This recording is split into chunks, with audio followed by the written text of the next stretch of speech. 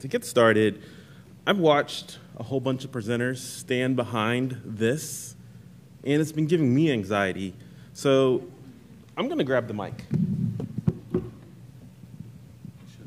Hello. And I'm going to walk over here because I feel that this side of the room has not gotten much love. So let's, uh, let's give this room, side of the room, some love. So the title of my talk is Back in the Day, and the quick history behind this is uh, Carrie said, what are you going to talk about? And I think I sent her back a four-word email that said, back in the day. Trust me, it'll be great.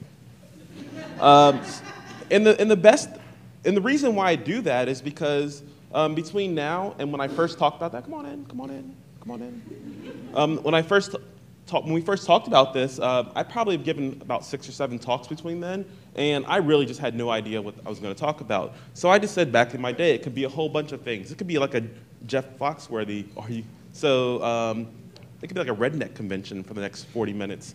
But I promise you, promise you, this will not be what I'm talking about. So uh, first, I want to start with the disclaimers. I felt that disclaimers are kind of a thing here. Um, there are no motions in my slides. Um, if, you're a, if, if, slides bother you, there might be a problem. But, um, um, but I also want to talk about other things. I want to talk about my privilege. Um, I, am an, I am a developer. Um, I have a great job where people pay me to, do, to write software. Um, I realize that that's a privilege. I live in a great house. I have a great family. I have a really good job, and I just have a really good life. And I want to say I'm really thankful for where that is. And I hope to be able to encourage other people to do some of the things that I've done in life so they can share in this privilege with me. And just remember that there are, we are not um, denigrating or talking down in this talk at all. This is really a positive talk. Um, and the reason this comes from is that there's been a lot of heavy talks here, and I love heavy talks, but um, I'm not going to say I'm a crier. I mean, I tear up every once in a while. I'm not a crier, but I feel that the, the crowd really needs, you know, a little bit of a pump, pump me up. So I'm going to give that to you. So, um, my name is Bryan Liles. Uh, like I said, um, I'm, a, I'm a software engineer, kind of, at DigitalOcean. I was in software engineering, and now I'm not. I just do things. But they all end up being writing software. So I guess I still am a software engineer at DigitalOcean. Um, my employer paid for me to be here. They paid for my whole trip. I'm on a ending a 10-day trip, so I'm really thankful. Um, and a little blurb is that we do cloud stuff. If you want to talk about it afterwards, I will be happy to talk about it. So, um, actually, I have a big favor. Whoever's sitting in the front row right now, haha, I guess what you're getting ready to do. It's not often that the presenter will ask you to take a picture with their camera of them on stage. So could you do this for me? I just think this would be a great picture. so um, like, like this. In a shadow. Oh I'm um, in a shadow? Uh, more like, I don't want to do like that, but um, like this. Forward. This way. All right.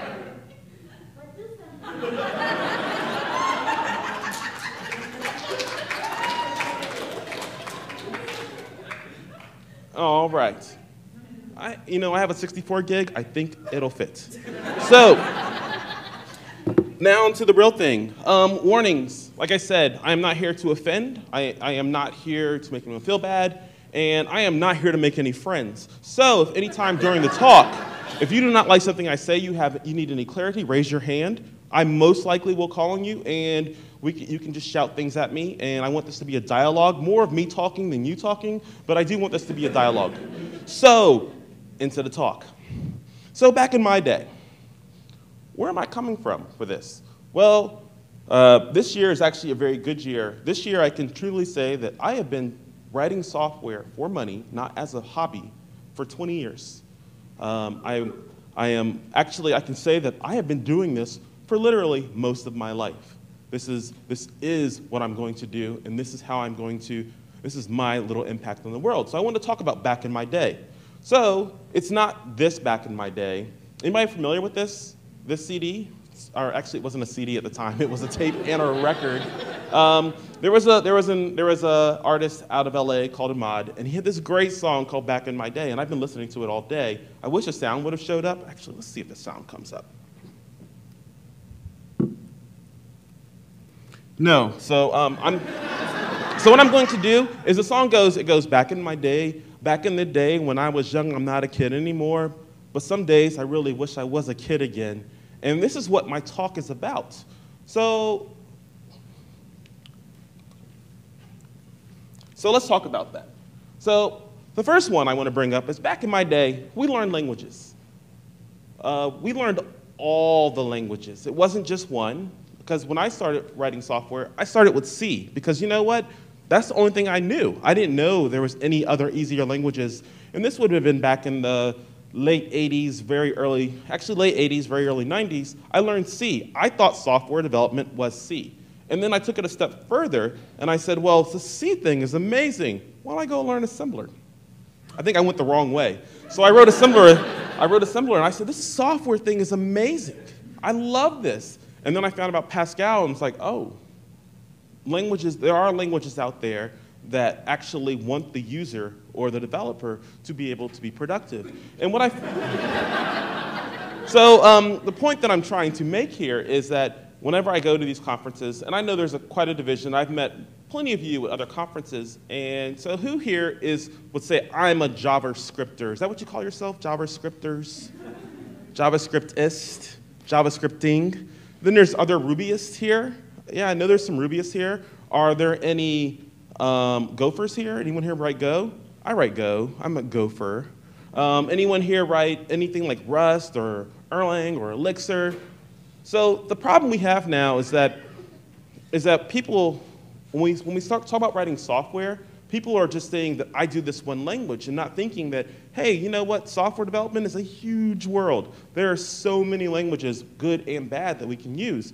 And what, we, what I find in this new age, and this is not a negative, do not tweet this as a negative, we have these, we have these schools, and I, and, I, and I appreciate each and every one. And I know there's Ada here, there's, there's a few more around the, and there's like some in, there's like Dev Boot Camp in Chicago and other places, and there's Flatiron School, and I know people here who have gone through those. And I'm not saying it's a negative, but what I'm really wishing is that we realize that software development is not making web pages. Software development is actually writing embedded systems for cars. And hopefully you're doing the right job and not lying on your emissions test.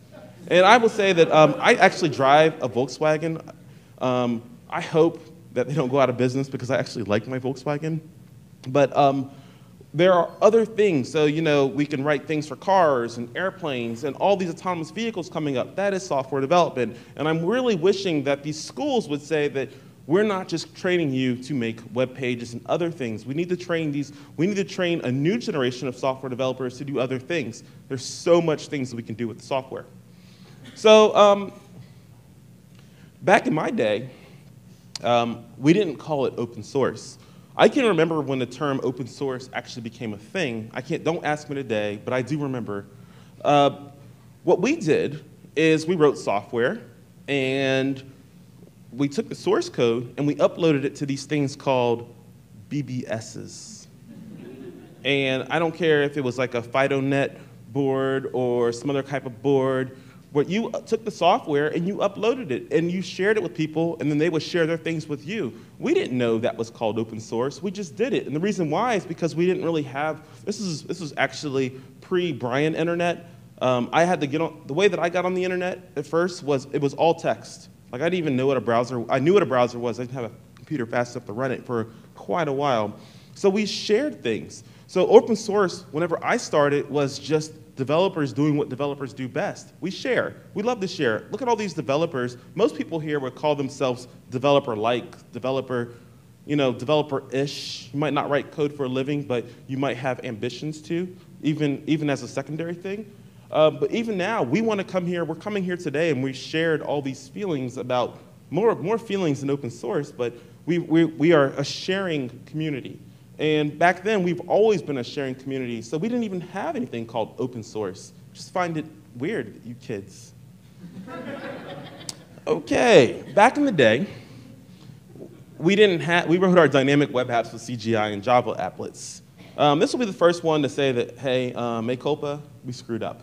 Um, this was never, never a good idea. If you think about it, you had, you had your Apache, or HTTPD, I'm showing my age. And what it would do is it would exec a program and you would send things to this other program and it would send things back. You know, I don't know why we got rid of that. Nothing bad could happen with that kind of thing. Um, but today, you know, and this is one of the bonuses of living in this mysterious thing called the future, is that now we have full web we have full scale web applications, for better or worse, running in your browser. And for some of us, it's better. For us that have like little Macs or little PCs, it, it might not be better. But the technology has not stagnated in the web. And the thing that I, and what I wanted to bring up is that even in 2015, we have only scratched the surface of what web is. And think about it, this, the debate, there's still a debate about um, is, should I make mobile apps or should I write like Android or iOS or Microsoft apps? You know, and, depending on who you talk to, they'll definitively tell you an answer, but they'll be definitively be wrong because we don't know. And it's a crazy thing. This is actually a great place. And I want to say that I was talking kind of weird about web developers before, but now I'm going to give you all the positives. People in this room or people watching this video, if they ever choose to watch it, you actually can set this forward. Um, think about it. Um, before Node came along, um, who thought that we would be running uh, JavaScript on this server? Matter of fact, if I would have sat down with you in like 2010 or 2009 and said, hey, hey, hey, hold on, you're to love this. you know that language, JavaScript, that we use in the browser? You'd be like, that one? I'm like, yeah, that one. Wouldn't it be amazing if we took it out of the browser and onto our desktop or into our servers and actually wrote software with it? You would not be like, whoa, no, that'd be crazy. You'd be like, no, Bryan, that's the stupidest thing I've ever heard. but what we've proved in the years that Node has been out, that you know what, um, whether you do or do not like callbacks and that um, and how Node does it, Node is a very viable, although slower than Go, way of writing web apps. so that's good. I mean, this is good. So back in my day, things were kind of weird, kind of crappy, uh, but now they are, you know, less weird, but extremely less crappy. And hopefully the word crappy does not offend anyone. We can talk about that later. All right. Um, who here is like I hate the word DevOps, even though I go to DevOps conferences and talk about DevOps things. But you know, there's a whole there's a whole bunch of development and a whole bunch of work that takes place behind the scenes to making our computers big, fast, and powerful. So who here? So I'll read this. I'll say back in the day, um, CI, continuous integration, um, CD, continuous deployment, clustering of your disks, servers, and services management were actually hard, and not I have to search Google hard problems. So let me, let me dig into this.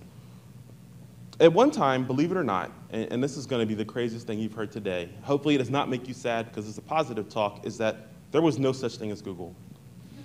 and um, you could not go, I mean, you could go, so you could go to AltaVista or you could go to Yahoo, but even before AltaVista, Yahoo, um, there, was not, there was no easy way for us to go to the internet and be able to search for arbitrary things. We couldn't go in there and type Obama is in Google and see what happens. Actually, you should do it, it's pretty funny.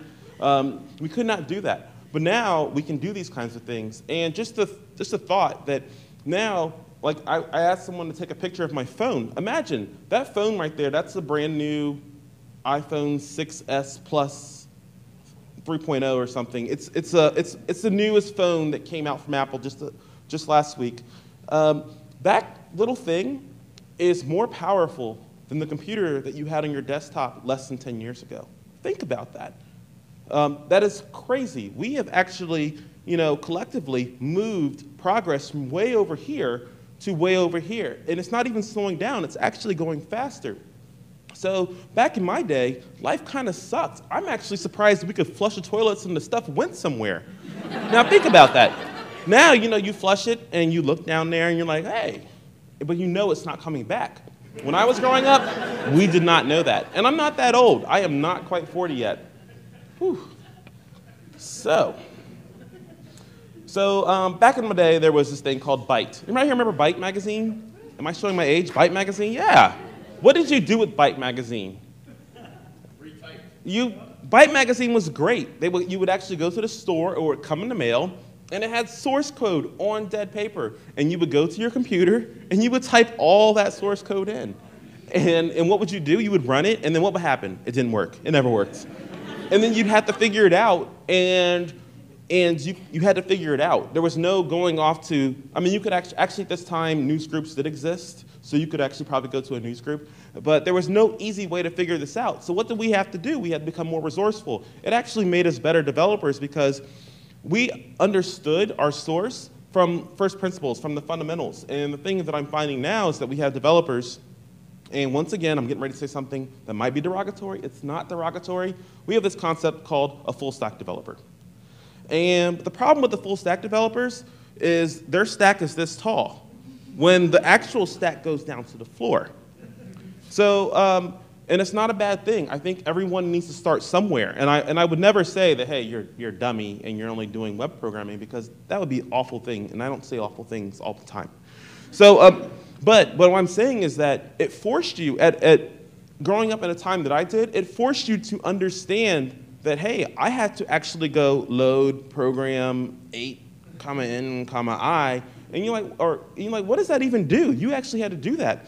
I actually had programs. I had this Tandy Color Computer 3, and all the programs are stored on tape. So me and all my genius, I said, well, I want to hear what my, my applications sound like. So I took that tape and I put it in my father's tape and I played it. And guess what it sounded like? Shh. But that was, and, but that actually made me curious about what was going on. So that forced me to think about, well, what is this sound doing? It's basically, it's basically binary played over an audio. So what does that mean? So right now, because we have all these things like Google and these conferences and papers we love and all these other neat things telling us all this high level stuff, we actually have lost the ambition, or some of this, have lost the ambition to go look under the covers and see exactly how, how the sausage is made. And I'll tell you what, um, sometimes the sausage, if you really want to know how the sausage is made, it's really gross. But we're actually in the place now where things aren't as bad as we think they are. Actually, a lot of things, a lot of systems that we've seen built from the ground up, even building compilers. I could sit down here with anyone in this room, and in a week, I could actually show you the fundamentals of writing a compiler. It's not that hard. But if I did, I would actually charge you a lot of money because, you know, I have to eat as well. But I'm saying, it's not that hard. We can definitely do these things. So, moving on. Like I said, this is a light talk. I'm here to make you happy. I'm not here to make you sad. Wait till the end, though. Um, back in my day, you were stuck in, you were stuck in the console if you foobarred your xconfig. First of all, anyone, everyone here knows what foobarred mean, right? I want to be inclusion. If you don't know what foobarred, raise your hand. Okay, right in the back. It actually means effed up beyond all repair. Foobarred. Makes more sense. So basically, so I actually started off with, with, with DOS, not Windows, because I didn't have a computer fast enough to run Windows. And then I was one of those kids who took the 31 disk download of Linux, because it took 31 disks to download Linux, and I said 31 floppy disks. And then you would, it would take you about a week to download it. And then what you would do is you would install it disk by disk. And it would take you another week to get that installed. And then your mom would come in and just like turn it off and be like, oh, are you kidding me? so then you'd have to start over again. And then by the time you got it on, you wanted to see this whole crazy thing called X. And basically, X is, you know, it's the graphical user interface and that Linux was using. Um, and then you, so what you would do is you have this configuration. And inside this configuration was a description of the mode lines for your CRT. And really what that was, so we used, before these LCD things, we used things like old school televisions. This is a history lesson for, these, for us youngins. And what it did, it was like a TV, but it was connected to your computer. And, um, and what you would do is it would describe basically how the, it would describe the vertical settings for it. But if you use the wrong settings, there was literally a disclaimer, and I've never done this, but I found someone on Twitter who's done this, um, if you change the settings too far away, you would actually blow up your hardware with software. You can't even do this. I don't even know if you can even do this anymore. You can't do it with an LCD because they only operate at, the, at, at one frequency.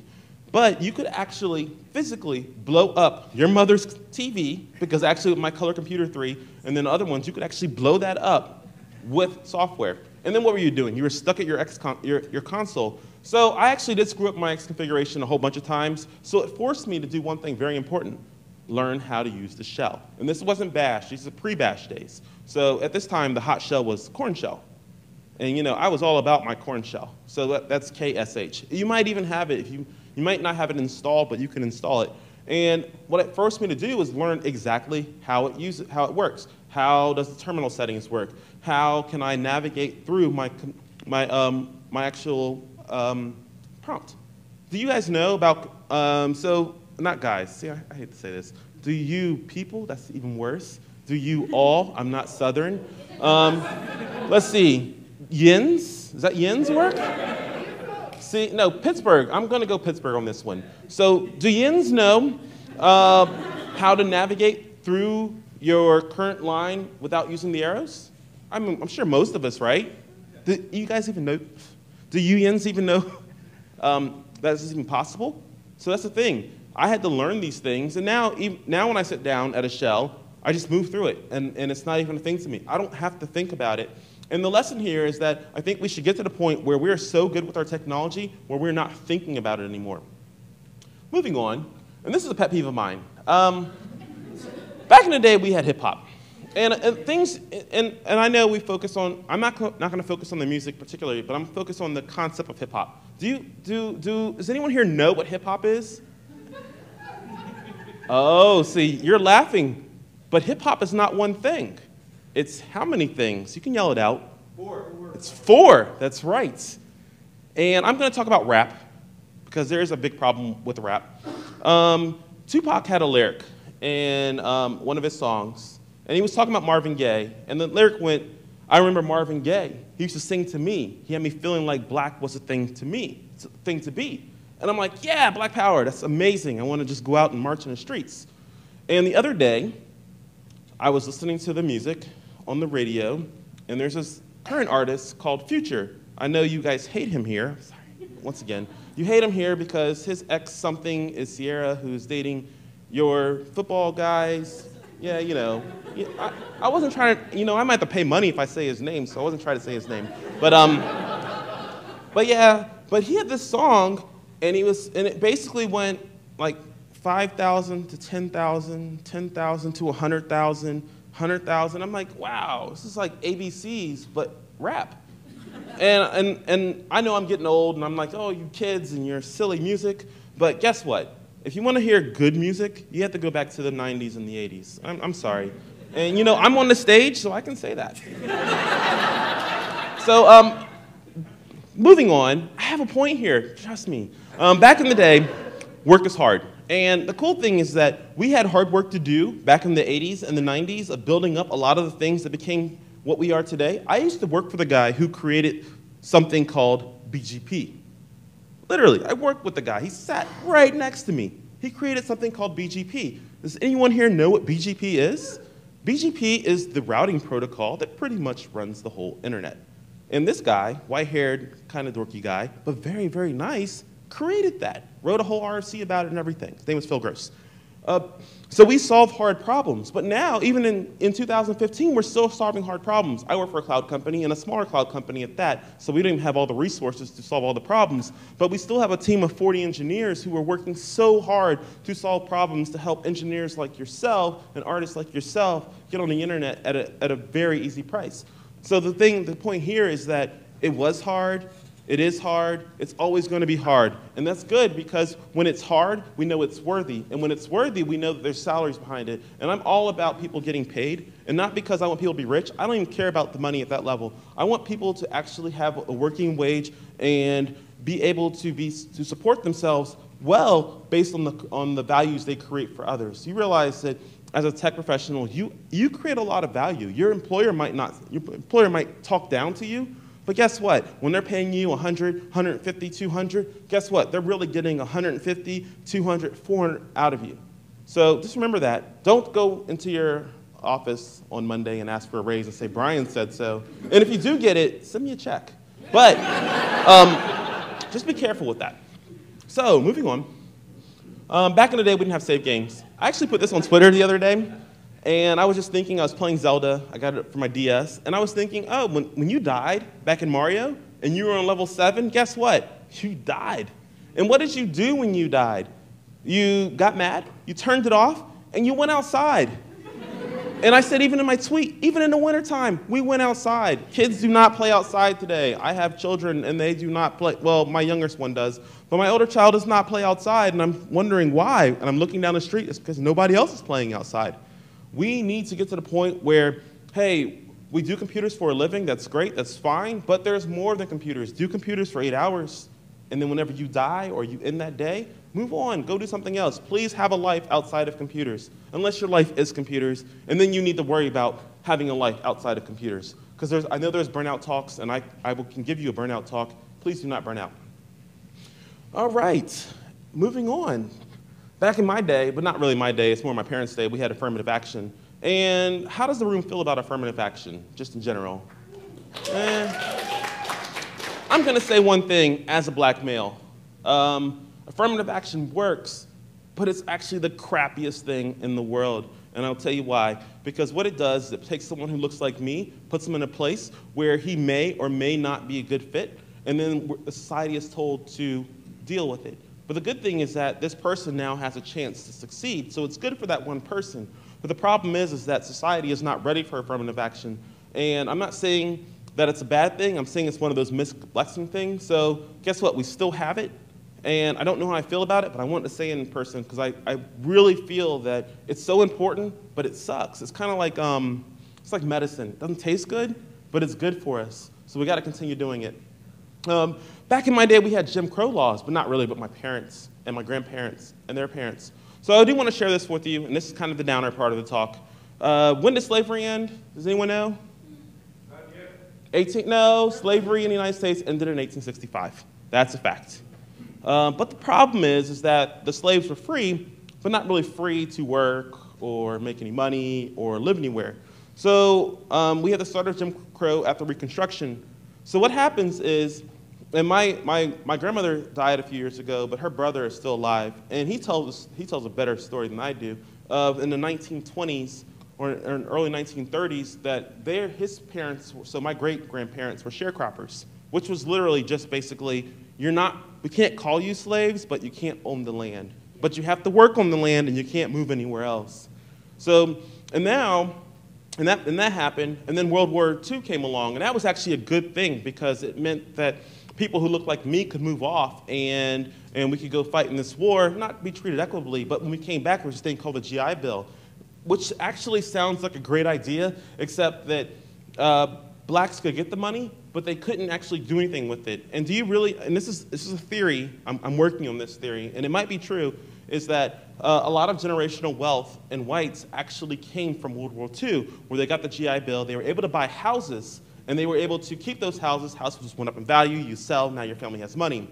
But if you're black, and first the government wouldn't give you any money, and then but the Supreme Court actually ruled way before that, in like 1935, that that was illegal, that the government could not discriminate. So what they did is they went to these housing communities and they went to these neighborhood communities and said, hey, if you give any blacks any uh, move in here, we'll remove all the funding for this neighborhood. So guess what? All the blacks had to move to these neighborhoods. And I happen to live in Maryland, not in Baltimore, but close enough.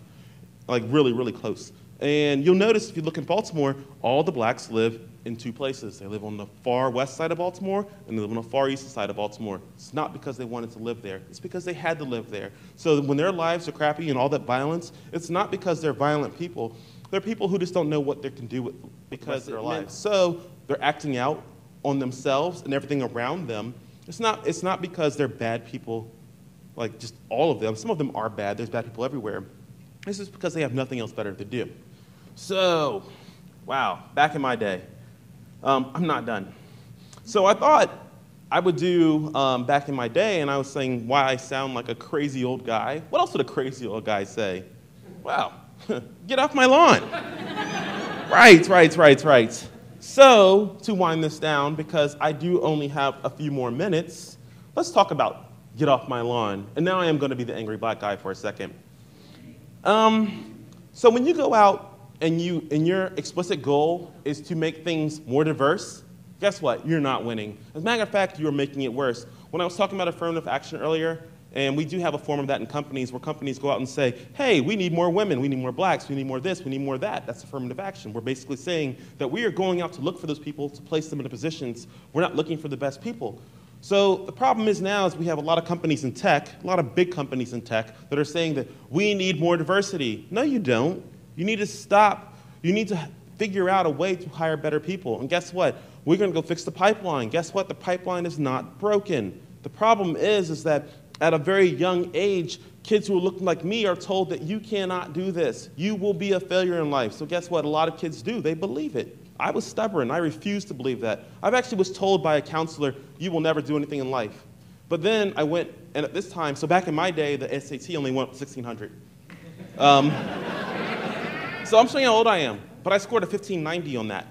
I had a two grade point average because I hated school. I hated the concept of school. But it allowed me to go to any school that I, that I um, wanted to go to because I had such a high SAT score. So because I was constantly told all these bad things about myself, I actually didn't even take that seriously. I actually went to the book, to the library, and opened a book because we had to do it at a time. We had no online. And I just went in the middle, and I said, there, I'm going there. Indiana Institute of Technology, let's do it. So, um, but I was lucky. I'm very fortunate, I'm very privileged to have, have that ability, but you know what? Not all of us do. So we got to think about other words. Matter of fact, if you think diversity, think of how can we make this more inclusive?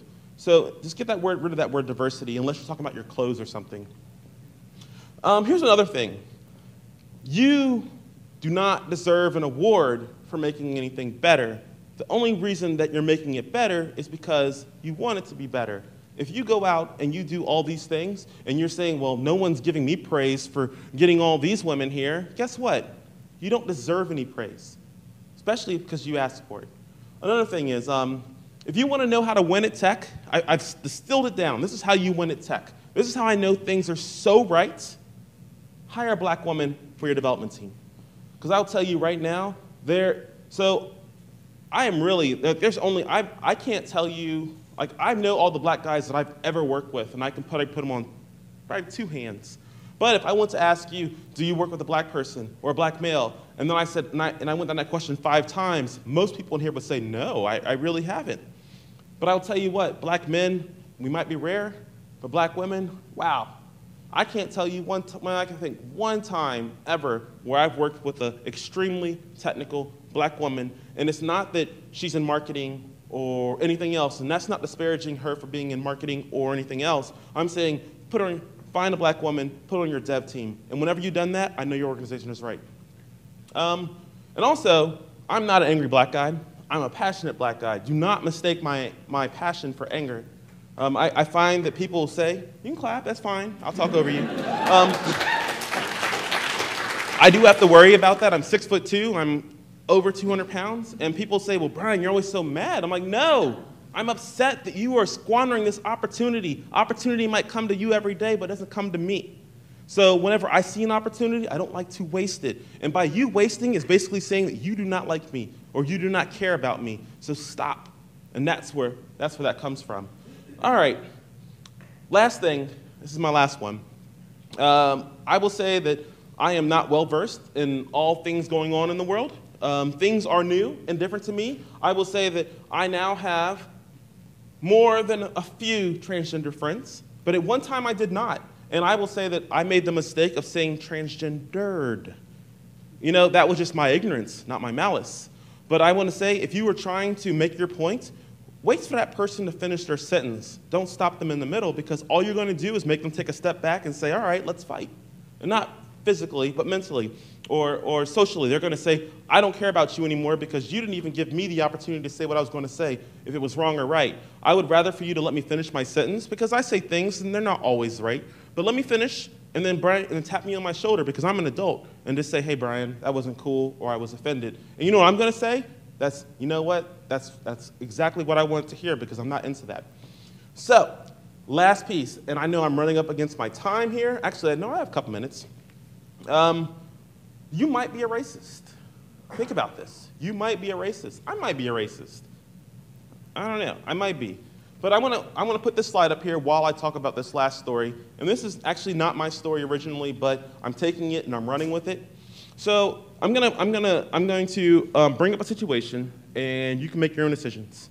So you have a development team. It's all guys, and these guys are just horrible to each other all the time. They're saying this, you know, they, when it comes to code reviews, they're just nasty, and they pick on each other, and they, and they're just nasty. Bring one black person on that team, and then let one of those people who were originally on the team be nasty to them. I'm gonna tell you as a black guy, or that's all I can speak as, is I don't care whatever you're saying, I don't care why you were mean to me, it's because you're a racist. It's not because you think you're not a racist, it's because, you know what, when I'm looking at, when I'm looking at us, um, only difference I see between you and me is our color, and you're being a jerk to me, it's because you're racist. And you might not think you're racist, so stop acting like one. And, and really, I, I, the way I say it is, if you don't want to be called a racist, don't be an asshole. That's it. So, um, that, that ends my rant. Um, so, what was my points? Um, I do open source. I have feelings about it. and um, the end.